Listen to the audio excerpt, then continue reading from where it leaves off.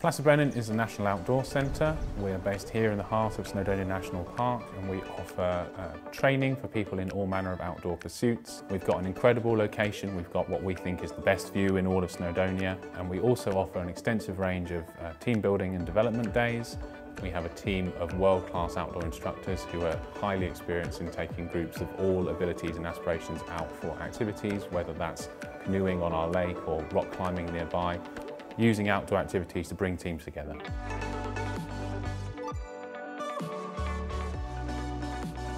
We have a range of different meeting and conferencing spaces available for groups of 8 to more than 80 and we also have accommodation on site for over 100 people.